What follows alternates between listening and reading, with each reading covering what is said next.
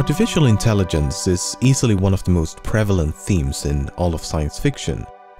The idea that a machine could exhibit the same level of intelligence and sentience as a human being has captivated writers and audiences alike for decades. From an ominous computer system in 2001, A Space Odyssey. Open the pod bay doors, Hal. I'm sorry, Dave. I'm afraid I can't do that. To superhuman androids in Westworld. Turn the other cheek.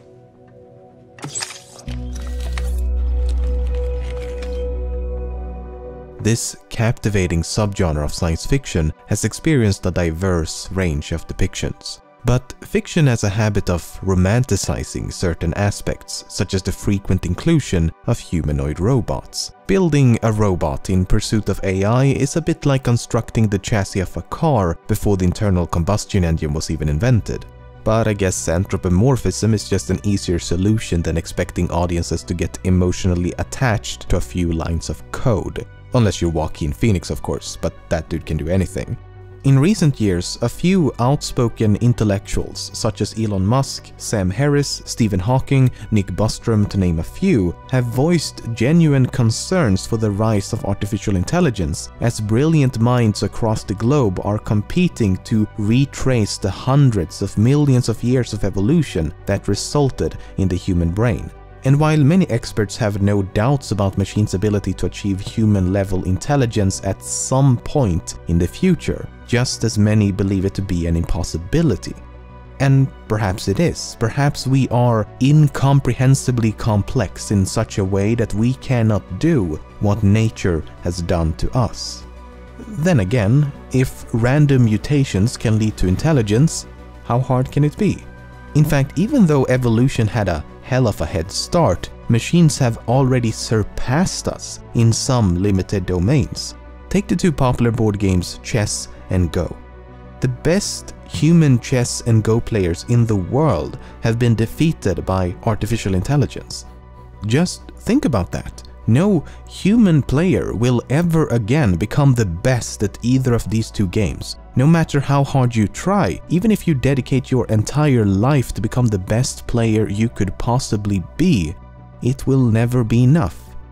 Luckily for us, there's a lot more to the human condition than chess and Go, but is it that dubious to think that more general talents and abilities could be rendered equally obsolete? Assuming it's possible, what happens when machines become more competent at performing any and all physical and mental labor? If AI becomes more competent in every regard, then what purpose or function would be left for us to serve? The music playing in the background of this video was entirely composed by a machine.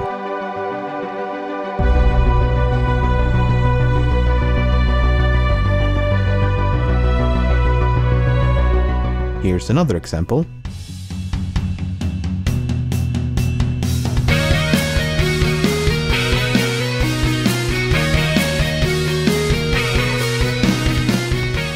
How about some acoustic guitar?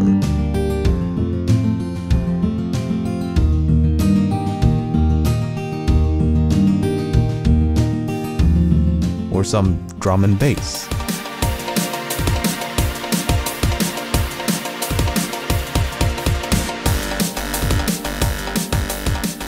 It's quite impressive, but then take a listen to this.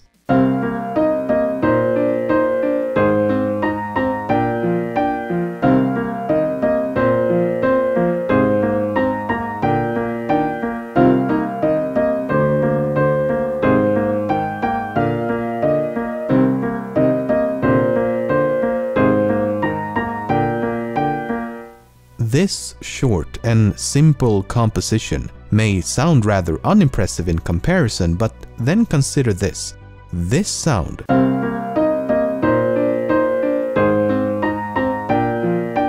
is not the sound of a piano. The sound itself, the waveform itself, was created by an AI in an effort to mimic the sound of a piano. Machines have also begun tackling the human language by writing poems. When I in dreams behold thy fairest shade, whose shade in dreams doth wake the sleeping morn, the daytime shadow of my love betrayed lends hideous night to dreaming's faded form. You know who would love this nonsensical mess of words that is inexplicably a real language? That's correct, the Danes. So poems may not be the best example, but news articles is a better one. Machine-written content has become so commonplace and so good that you've likely read a few automated articles without even realizing it. If you pause the video, see if you can discern which of these two paragraphs were written by an AI. The answer will be in the description. Now this is one of my favorites. Many of you have likely played around with text-to-speech engines. You input some text and then a voice will read it aloud. Many of you have likely played around with text-to-speech engines. You input some text and then a voice will read it aloud. Please send help. Up until now, this has been accomplished by having a voice actor read a long series of sentences and words. Then you splice the syllables into tiny samples before attempting to stitch and morph them back together. Artificial intelligence can not only do this in seconds, but can also produce a more natural sounding speech. Let's take a listen. The Blue Lagoon is a 1980 American romance and adventure film directed by Randall Kleiser. The Blue Lagoon is a 1980 American romance and adventure film directed by Randall Kleiser. Aspects of the Sublime in English Poetry and Painting, 1770 to 1850. Aspects of the Sublime in English Poetry and Painting, 1770 to 1850. It can also produce human-like gibberish. Sådan. It was fantastic, yeah. Jag stod till man, but den är sin on is totality, Gerald the fact that I got kid at school. I'm pretty, I'm, quest. fan ré neck at Gruffrake, so again like then Larhouse is a phone. That like is it today? So how does it work? Well, as you can imagine, it's complicated, and that's a severe understatement, but let's use an analogy. Think of a human infant. An infant doesn't really know or comprehend anything. It's just an oblivious sack of meat that occasionally moves around and screams a lot. Nevertheless, the human brain must be doing something, right? I mean, it's not dead, so what's happening? Well, for the most part, the brain will be searching for patterns, systematically attempting to identify recurring events in an effort to make sense of the world. Colorful toys equals fun. Vegetables, not so fun. If mommy and daddy can speak, maybe I can speak. If they can walk around on two feet, maybe I can too.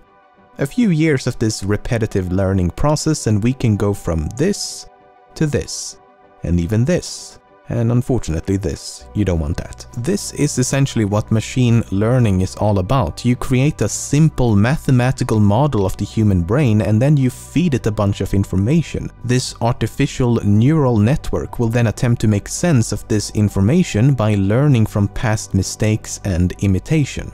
The result is this natural evolution that no human could ever manually program.